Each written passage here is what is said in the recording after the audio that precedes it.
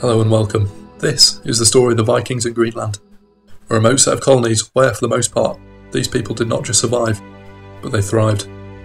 It was an important trade hub of traders, sailors, and hunters, exporting ivory, rope, seals, and even live polar bears. Whilst it imported wine, iron, and stained glass from Europe. This civilization lasted around 500 years, from the year 1000 till the mid 1400s, where it met its mysterious and chilling end. At its height, it had hundreds of farms, manor houses, and at least five churches, with a population of around 5,000. But by the late 1400s, every person had disappeared, and nobody knew how or why. How did this thriving civilization come crashing down? And how did it start? Today, that's what we're going to explore. What led to its rise? What led to its fall? What would it have been like for these people to see the end of their world and civilization?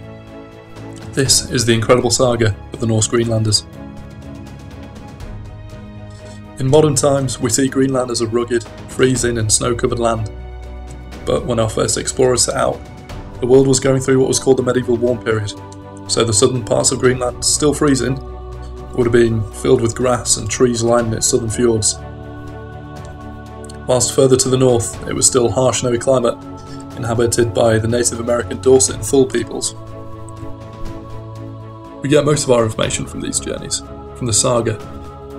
Book of the Icelanders and the saga Eric the Red, piece of epic poetry that would have been spoken out in longhouses and mead halls in the long Scandinavian winters. We'll start our tale in the 1540s. A ship drifted off course in a storm and ended up in Greenland. The ship was full of Norwegians. It set foot on a beach in Greenland to discover a man laying face down in the snow, dead. This man was dressed in Inuit clothing with sealskin clothes and fur hood. But when they turned the man over, they found he had Norse features, red hair, and pale skin. A Norseman just like them.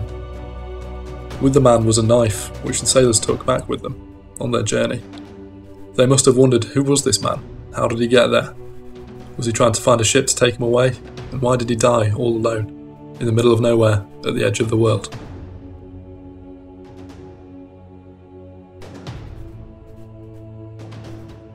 Europeans first became aware of Greenland probably in the 10th century. These men were Northmen, Vikings from Norway. They had a terrifying reputation wherever they went in the world. They had already claimed Iceland by the 9th century, and by the 10th they had a dense population, with all the good farming land already taken up, and the few walruses that were in Iceland being hunted to extinction. Just as in Norway, the land was scarce for a growing population at the time. Slowly in Iceland, there were stories of sailors who had been blown off course by the stormy seas. These men had seen a new land further to the west, blue coasts and huge chunks of ice floating in the sea. In this culture of explorers, settlers, and sailors, they must have wondered on their small island surrounded by the sea.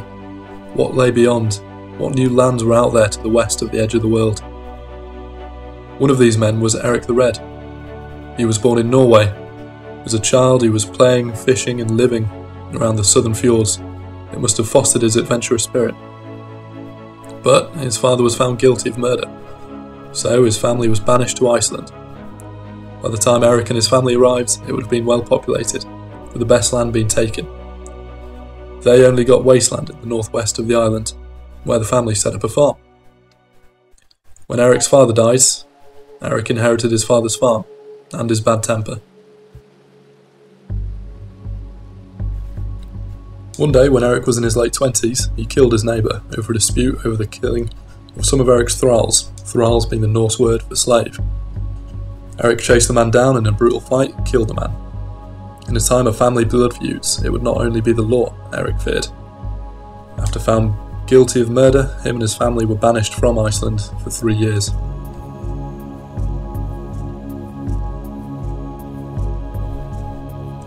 So, in the year 982, at the age of 30, Eric had little other choice. He built a ship and got together a crew, with those stories of the sailors who had seen that new land ringing in his ears. Eric sailed out west. The journey was about 1500 kilometres, through storms, rough seas, and ice floes. The journey probably took him around two weeks,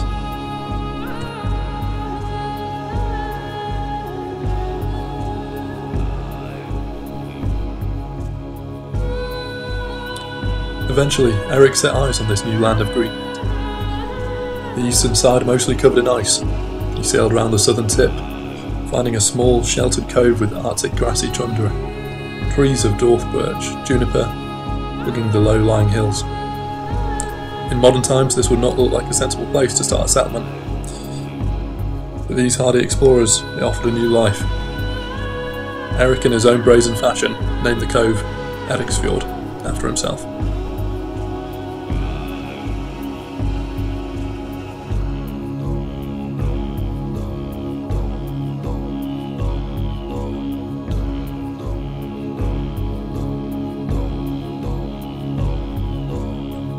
Eric and his crew continued exploring the western coast of Greenland for around three years, mapping it and plotting the ideal places for a settlement, living out Eric's three years of banishment.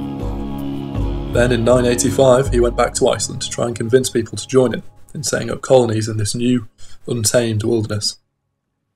The sagas state that, in a rather tongue-in-cheek fashion, that Eric, giving it a good name, would make it more likely for people to settle, thus naming it Greenland According to the Book of the Settlements, named the Landnámabók, Eric managed to get 25 ships together for the journey, full of men, women, children. They took with them wood, nails, iron, chickens, and livestock, everything they would need to start a colony. These people could have been rich enough to invest, thinking they would become even richer, become high lords of this new promising land. Or maybe it was the very poor, with very little good land, to their name, hoping to strike out and better their lives. 25 ships set out on this voyage, but only 14 would make it to Greenland after days of hard sailing.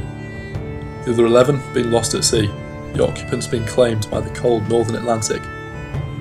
For comparison today, this may be like space travel, trying to settle on the moon or Mars.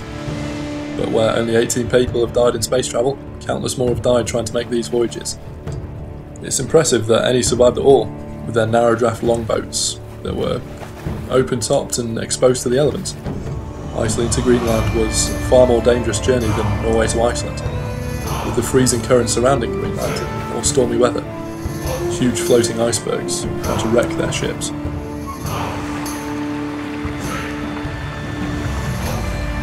To show just how dangerous these voyages were, there's a tale in the Iceland sagas of a man called Lodin, nicknamed Lick Lodin, Lick being the Norse word for corpse. Lodin sailed the eastern shores of Greenland. He would gather the corpses of shipwrecked sailors who were stranded in the caves of the shoreline. He would often find runes carved into the ice or the rocks next to their frozen dead men, explaining their tragic fates for whoever may find them.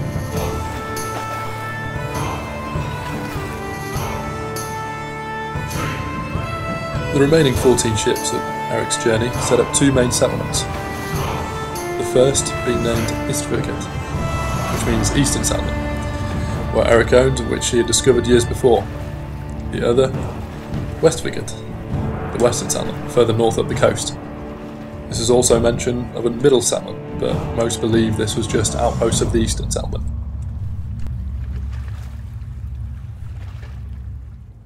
The Norse quickly made these places their home, building farmhouses and fertilising the soil, improving the quality for their crops and animals.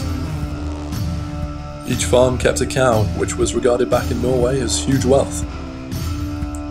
This provided them with lots of staples such as cheese, butter, and yogurts. In these settlers' minds, this was their home and where they were going to stay. In the western settlement, hunting was the main source of income. It was plentiful. The main trade to Norway being ivory from walrus tusks. These were one metre long and about five and a half kilograms in weight. These would find their way all across Europe, being much sought after. Every six years, the Greenlanders would send their taxes to Norway. In the records of Norway, in the year 1327, a single boatload of walrus tusks, around 260 in number, was recorded as the same value of 4,000 farms, showing the sheer wealth that was coming out of Greenland, proving the huge wealth that was coming out of these colonies and their value to Norway and Iceland. They also hunted seal and polar bears for their pelts, even took some live polar bears back alive to Norway. The settlers also hunted narwhal.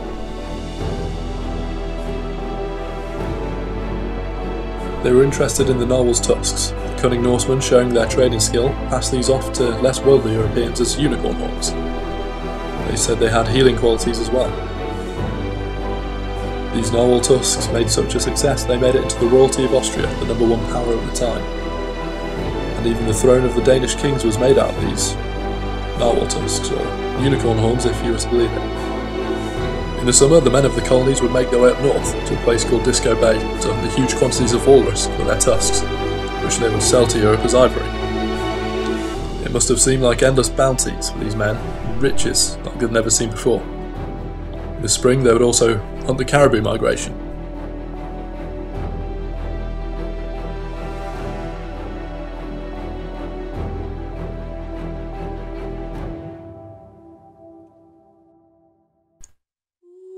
They also built churches, which were built from the sandstone from the hills around the settlement.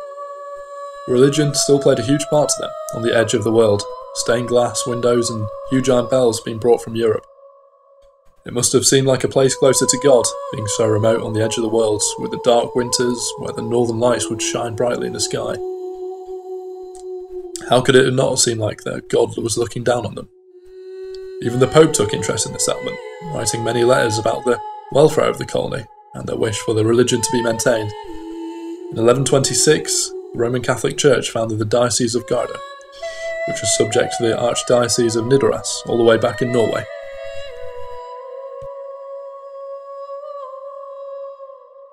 The barns they made were made out of stone.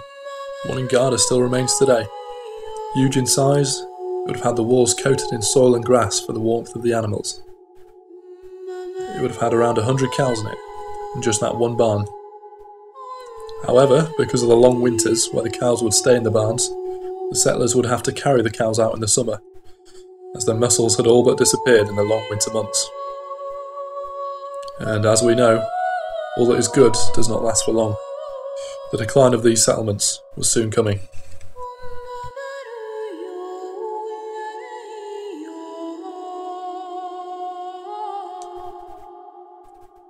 Eventually, the settlers would discover they weren't alone on this land, finding skin boats and eventually people.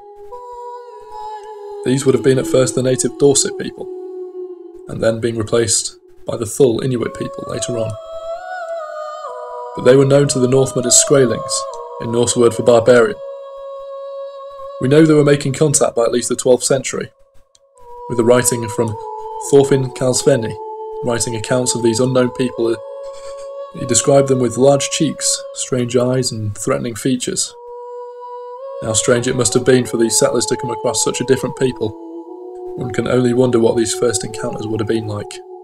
Would they have been curious, friendly, or even hostile? Relations between these two people were sometimes cordial, and other times less than friendly, with intermittent trading going on, and other times small battles, with death on both sides.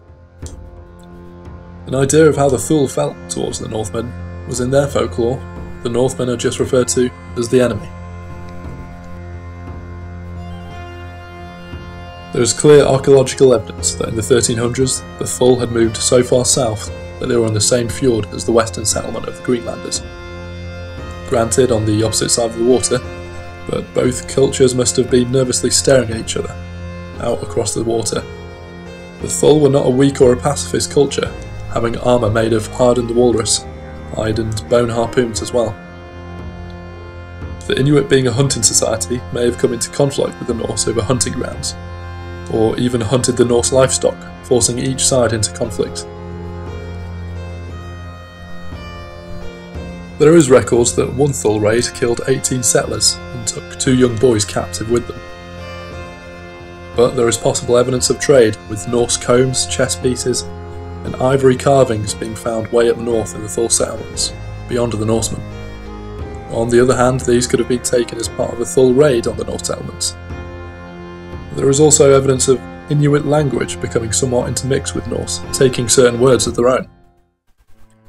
This would not have been an easy or wholly peaceful coexistence for either culture to endure.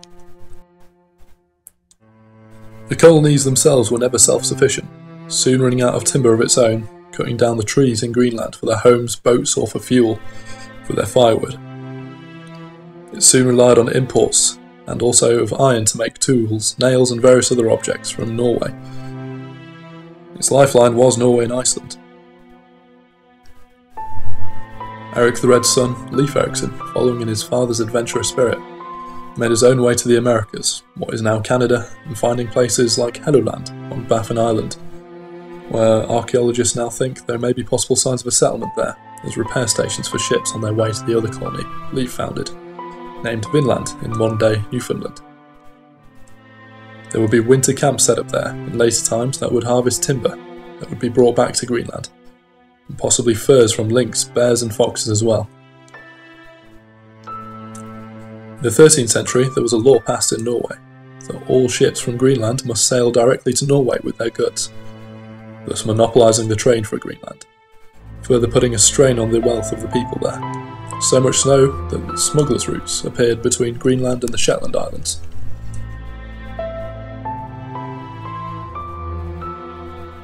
With this, a lack of materials and money, and conflict with the Inuits, the Western settlement was the first to fall. There had been no word from the settlement for decades, so in 1341, Norway sent Ivar Bardason to investigate, as Norway hadn't received any taxes from the settlement since 1327.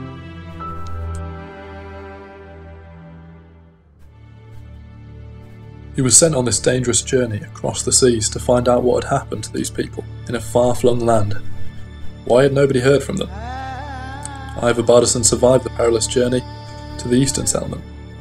Upon talking to the people there, nobody knew what had happened to them. The people in the western settlement nobody had heard from in years. For context, these weren't colonies just down the road from each other. They were the size of countries separating them. A sense of foreboding and doom must have overcome Ivar as he realised his journey was not going to end with a happy tale to tell. Ivar set off to the western settlement and upon arrival found their houses and barns in ruin. The cattle and sheep still alive but running free. No people, no bodies, and no clue to what could have happened to them. Seemingly vanished off the face of the earth. There was no sign of battle, and with the livestock still roaming around, the inhabitants can't have been long gone. Whatever happened can't have happened long ago. He carried on to four more farms that all shared the same fate. Livestock still there, but no sign of human life. Knowing the livestock wouldn't survive the winter without human care, Ivar and his crew slaughtered them and took as much meat as they could back with them. He reported back to the King of Norway that he thinks they must have all been killed by the native Skraelings, but in the back of Ivar's mind, he must have thought, where was the sign of battle, the burning buildings and the bodies of people? And would the Skraelings really have left all the livestock, all that good meat? It was a mystery, nobody knew, and thus was the end of the Western settlement.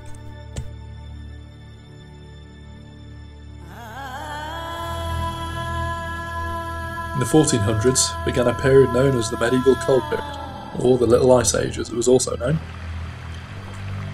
It is debated what caused this, whether it was a solar radiation, or the Earth's tilt, or even a volcanic eruption. Or was it another event at this time, the Black Death, which led to a steep decline in the human population across Europe and Asia? Did this have an effect? Either way, it was so cold that the Thames River in London froze all year round and people would skate on it, holding markets and fairs on the frozen river. Unfortunately for the Greenland settlers, between the years 1430 and 1455, it was the coldest temperatures recorded in Greenland for 2,000 years. This is known today by measuring the ice cores, with the temperatures being 6 to 8 degrees lower than today. In Europe, crops failed year after year. There was disease, mass famine, executions for witchcraft, and war. As these God fearing people tried to understand how this could be happening to them and why. In Greenland, the effects would have been even worse, with the colder summers and crops failing, and with little to no firewood to keep them warm in the bitter cold. The ground would have frozen all year round. Ice floes would have blocked up the fjords, not allowing ships into the harbours to bring supplies. Ice core studies suggest that there was an increase in sea salt in the ice over this period of time, suggesting violent storms throwing the seawater inland in the forms of sea mist.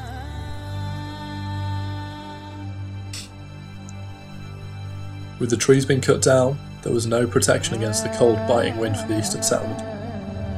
The grazing soil had also been blown away by the bitter winds. A house in Vatnahverfi was swallowed by the sand dunes because of the wind. Whereas the Inuits were using seal blubber to light their fires for warmth, the Norse had nothing.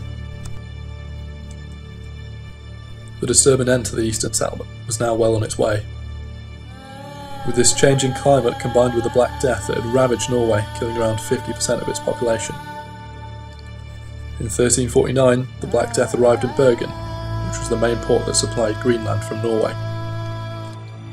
These shipments virtually stopping to Greenland, the lack of population there would have been very few men to sail the journey, or even to make the boats to even go to Greenland. All in Norway would have been focused on their own survival. Imports of grain to the colony virtually stopped, and there was a mass shortage of iron, which for the people in these times would have used for everything from nails to knives. This is shown in the archaeological records, with no nails being found in the top layer of habitation of the settlements. Knives were worn down so much they turned into stubs, so precious were they that they couldn't be thrown away. So desperate were the settlers becoming that they cut up their food with just the stubs of knives. Try to imagine being one of these settlers, seeing your forest disappear, having crop failure after failure. Hearing news from your homeland, your lifeline, that a disease unimaginable in scale had wiped out half the population. And you, stuck on the edge of the world, no news coming to help you. Although, in one bright side, there was no evidence that the plague itself had reached Greenland. The settlers resorted to excessive hunting, eventually with seafood making up around 80% of their diet, compared to 20% at the start of the settlement. On these trips, they would have had to take every able bodied man they could, with not a man to spare, to hunt the seals and salmon and whale. They went further, further up north, up the Greenland coast, as fish and seals got less plentiful. The ships that they would have had to use being a far stretch from the sleek longships of their forebears, with virtually no wood or nails to keep the boats together. Combine this with even worse storms, whole groups of able bodied settlers would have been wiped out by one wave, worsening the colony's position even further.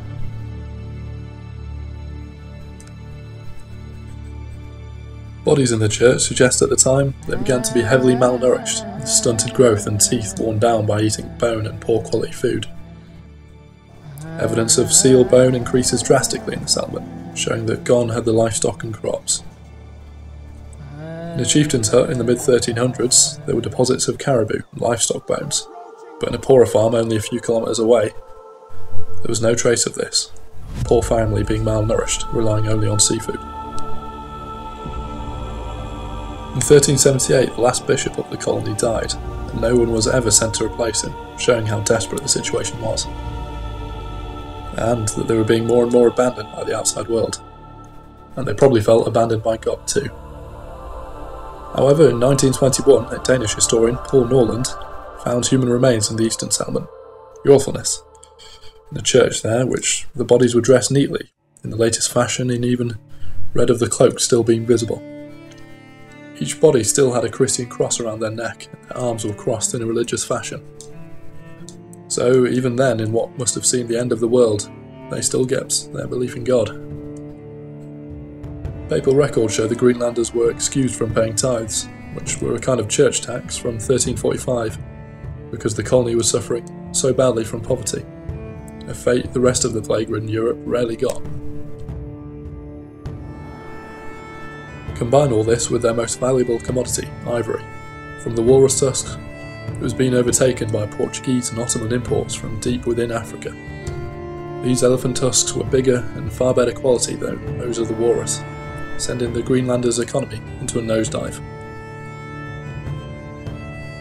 The last written record from the Eastern Colony was in 1408 of a marriage in Hvalsey Church, 70 years after the ruin of the Western settlement. A marriage between Thorstein Olafsson and Sigurd Bjornsdottir. This couple, possibly seeing the end in sight, made their way back to Iceland soon after. Also, possibly showing the settlement's desperation, the burning of a man alive at the stake for witchcraft.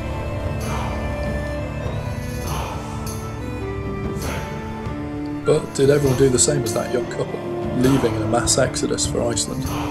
The record suggests not. If there were hundreds or thousands of people turning up on your shores malnourished, starving, and looking for a home, there would be record of it somewhere, but there is none. Seemingly, nobody knew of their plight.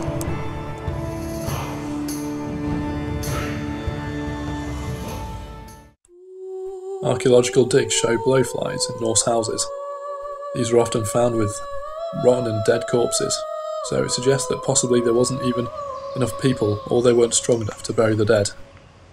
Chillingly, in one farmhouse, the remains of a dead calf and a pet dog, a Norwegian elk hound.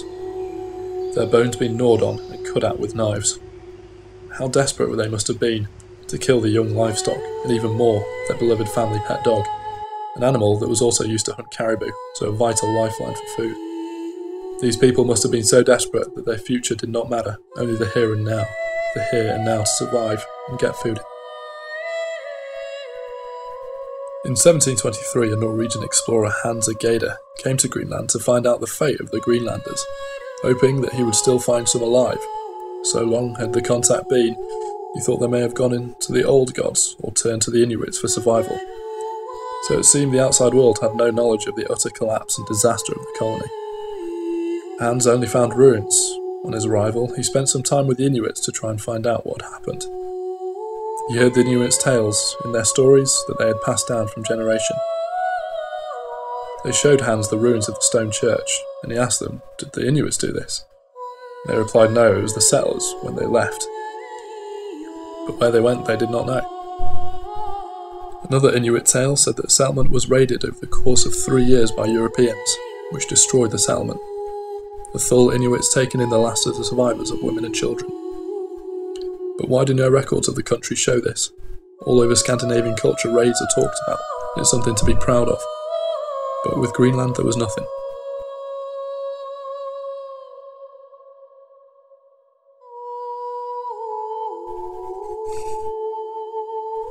So, after disaster after disaster fell upon the settlement, from famine, economic to collapse, war and disease, the survivors must have come to the point where they thought, what to do now? Do we stay and try and survive, or go and find new lands.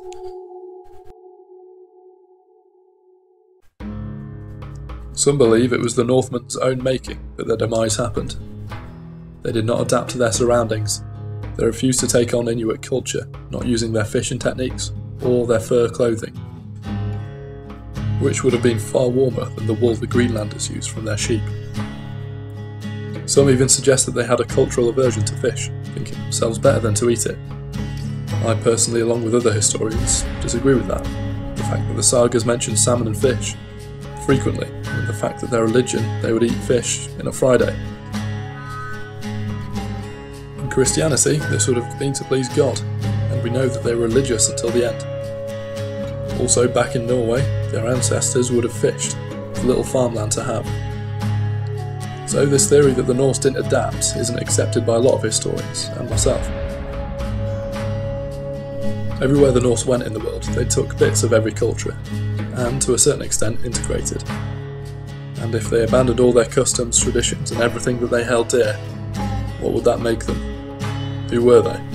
In their eyes, they would have probably just been more Skraelings. Others suggest that they didn't take care of their environment, not learning the lessons from Iceland. But again, we see the Norse fertilise their soil heavily, and take care of the population of seals they hunted. For example, they preferred to hunt the more difficult harp seal, which spent more time out at sea, instead of the harbour seal, which was more plentiful and spent most of their time on shore.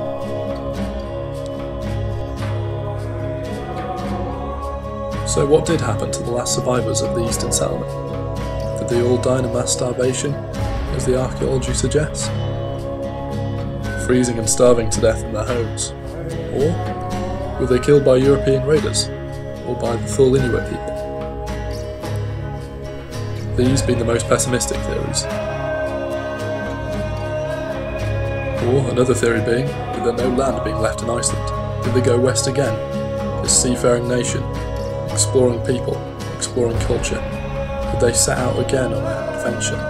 With their ancestors like Leif Erikson, having gone to America, did they follow in the same path?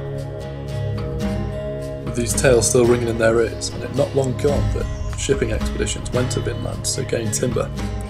It's not hard to believe that the survivors tried their luck somewhere else, make new homes, maybe blending in with the natives, learning their lessons, or maybe met a violent end at the hands of Native Americans. An interesting story is a tale of a ship being blown off course that had come from Greenland that had ended up in Iceland in 1347. The sailors said their destination was Vinland, a colony in America. So, did they try and settle somewhere else?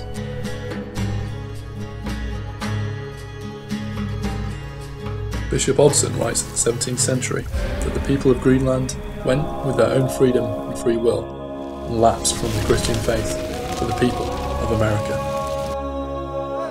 So there were clearly some back then that believed that they had gone to America.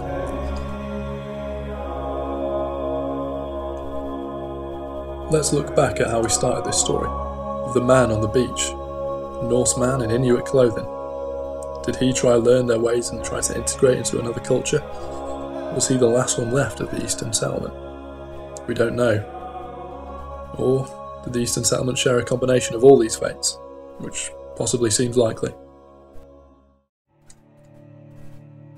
The Norse Greenlanders, their fate, a large part unknown in the end, but the storyteller in me likes to think it was the last theory, that they left for pastures new, like their ancestors, they kept exploring and pushing the boundaries of the known world. I think it's important to think looking at these stories. What would we have done? Seeing the collapse of our civilization, all alone at the edge of the world, with the ruins of our houses around us, our loved ones starved and buried around us, the northern lights over our heads. What would we have thought? What would we have done?